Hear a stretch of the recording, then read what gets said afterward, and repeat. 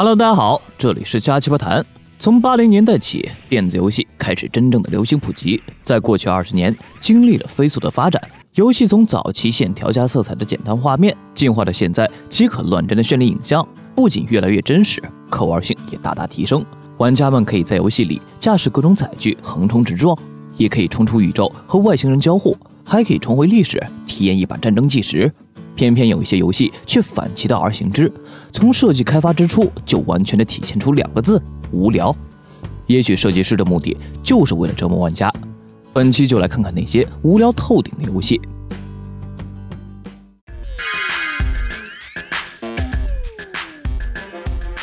Top Ten，捏泡泡。每次拆完快递，最喜欢的事情就是将包装盒里的塑料泡泡纸拿出来，一个一个捏破。虽然无聊，但是捏起来无比解压。那当你找不到泡泡纸怎么办呢？于是就有设计师贴心的为玩家设计出来这款捏泡泡游戏，满足你想捏又捏不到的需求。用鼠标点击屏幕上的泡泡纸就可以捏破，同时还会发出非常真实的音效。不过没有触感的捏泡泡是没有灵魂的。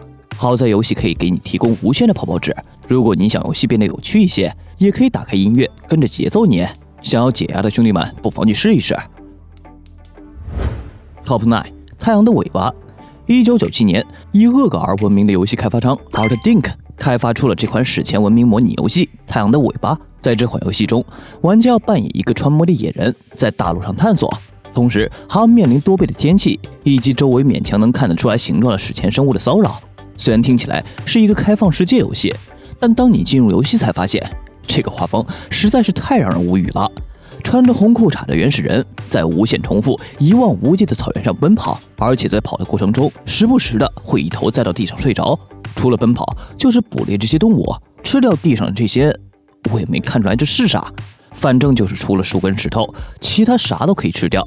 唯一的乐趣就是去捕猎，但在这个过程中，你可能会溺水，也可能被这粉色的河马、豹子啥的给反杀。最最最难受的就是这古怪的背景音乐，简直就是精神污染。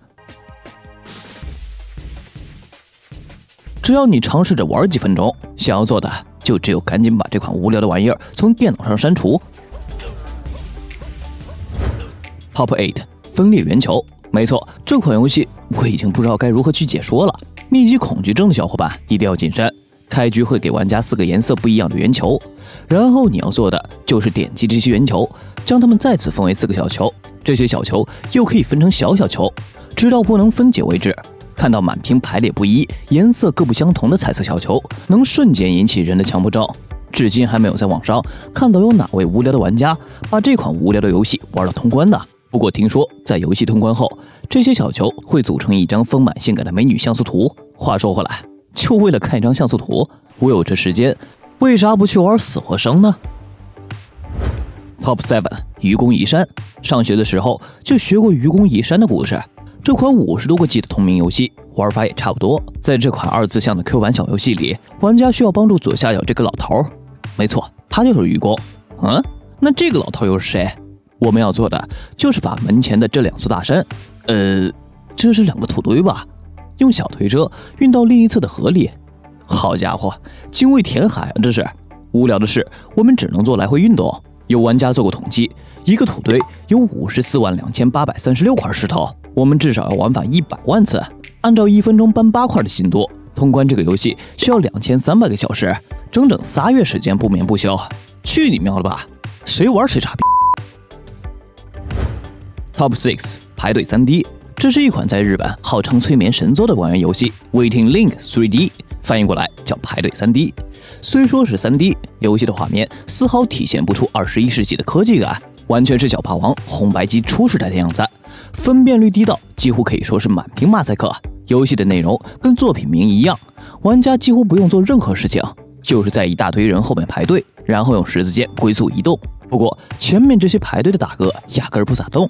我们要做的就是在角色犯困的时候给自己一拳，然后就会掉血。有毛病啊！我自己锤我自己。游戏有六个按键控制，上下左右可以瞎晃荡，换换视角。空格就是给自己一拳。至于还有一个 Shift，除了发出怪异的叫声，好像也没啥用。要时刻和前面排队的老哥保持半身距离，否则就会出列重新排队。如果犯困睡着，游戏就会结束；或者拿拳头捶自己，血槽空了，游戏也会结束。也不知道这个游戏如何通关。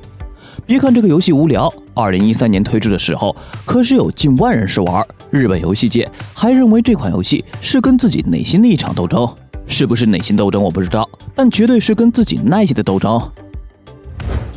Top Five 大树模拟器，模拟游戏是大部分玩家公认的无聊游戏。这款 Steam 售价六元的 Tree Simulator Twenty Twenty，游戏简介上写着，听起来确实如此。你就是那棵树，你是无人能比的。放轻松，做一棵最好的树。再打开评论区，有评价这是一款非常环保、非常好玩的游戏。我们可以感受大自然的力量，成为一棵真正的树，保护地球，从你我他做起。也有思考海德格尔哲学理论的，甚至还有玩了两千八百四十四个小时，高呼我是傻逼的。究竟是怎么一款游戏引得玩家两极分化？玩了上千个小时的大佬都能破防，不少玩家是因为这款游戏高达百分之九十五的好评率选择入坑，到手才发现，呵呵，上他妈大当了！进入游戏你会看见一棵树，真的没错，只有一棵树。玩家所要做的就是扮演这棵树，静静的等待，等待，还是等待。除了背景的昼夜交替，远处虚化的石头，还有近处随风吹动的花花草草。真的就没有什么了，没有丝毫的剧情交互，这简直跟电脑的动态壁纸没什么区别啊！随着时间流逝，我认为这棵树会长大，或者结个苹果、掉个叶子啥的，结果他还真的啥都没有。最为离谱的是，开发商后续还推出了 Tree Simulator Twenty Twenty One 和 Tree Simulator Twenty Twenty Two，还要卖十五块钱，画面和背景几乎没有什么变化，还是那棵树。在经历了一个多小时的游玩时间，我终于明白。在远离城市的喧嚣，我们就是那棵不能改变的树。在日益浮躁的社会生活，追寻一抹内心的平静。对不起，我实在编不下去了。我真想不通，为什么还有人能玩四千多个小时的？感觉这个游戏真的跟评价区里的一条点评一样，可以做一个计时器，看看花费了多少时间在耗费生命上。Top Four 模拟大山，又是一款模拟类游戏。看名字，你们也能知道，这次玩家要扮演的是一座山。在游戏的开始，玩家面临诸多问题，覆盖了多个区域，包括爱情、仇恨，甚至有关你的亲人。为了回答这些问题，你还需绘制一幅图画来表达自己的情绪。这幅画的形态和内容将直接影响着山的形成。你可以通过旋转画面，从各个细节来观察这座山的形态。游戏里和现实一样，也会有昼夜交替、情感雨雪以及四季更迭。随着时间的流逝，你会发现山的形态会发生一些变化，长出一些树木、丛林、萤火虫等生物。如果你有时间和毅力玩下去的话，山上能发展出新的文明也说不定。模拟大山是一款放置游戏，玩家可以放心离开，过一会儿再来看看发生了什么变化。据说，当你玩了五十个小时以上，会有一个神秘的彩蛋，难不成会蹦出来个石猴？Top three, Prison Forever。这款游戏翻译过来叫《永远的监狱》，不过我觉得应该叫它“牢底坐穿”。这款游戏的制作者就是之前《大树模拟器》的作者。这老哥怎么老是搞些折磨人的游戏啊？牢底坐穿，顾名思义，玩家要在这座昏暗的监狱里体验坐牢生活。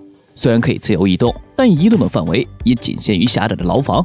牢房里有一张简易的单人床、一个马桶和洗漱台，而且这些东西既不能使用，还占地方。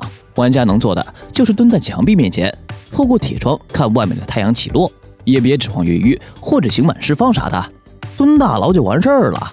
这款游戏 Steam 售价六元，想花钱找罪受的兄弟们可以去体验一下。Top Two，漫长等待和现实世界时间同步的游戏很多，但你见过需要真正等待四百天才能通关的游戏吗？在这款游戏里，玩家要扮演国王的最后一个影子仆人。在简单的对话后，国王将会陷入沉睡。你所要做的，就是在四百天后叫醒他，重新统治世界。也就意味着，玩家在现实世界中也要等待四百天。当然，游戏里也有其他玩法，可以对巨大的地宫进行探索，根据遗留下的线索，还可以了解剧情。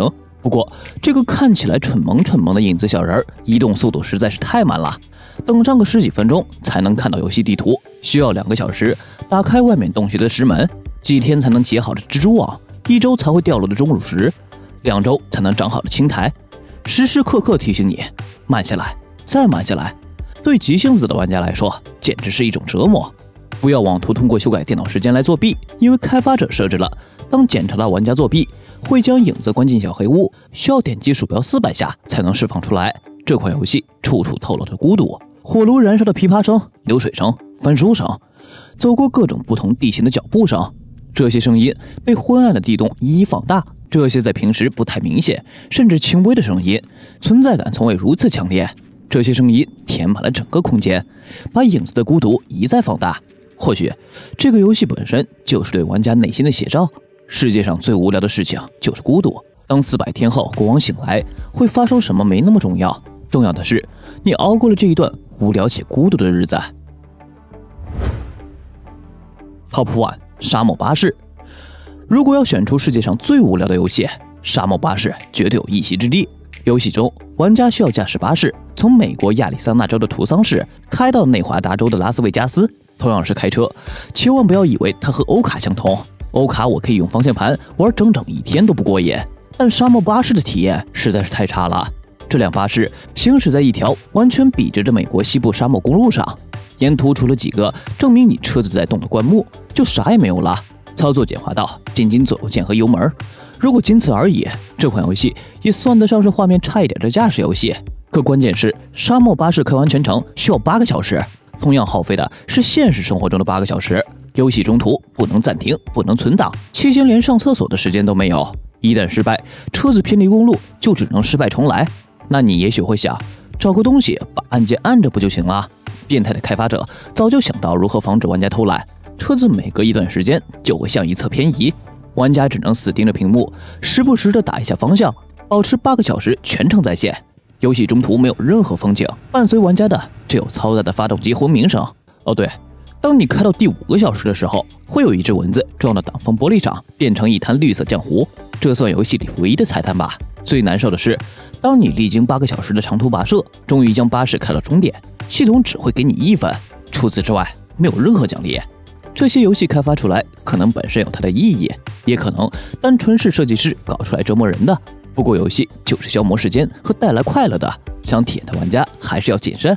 这里是瞎鸡巴谈，想看什么有趣的内容，欢迎在评论区留言。我们下期再见。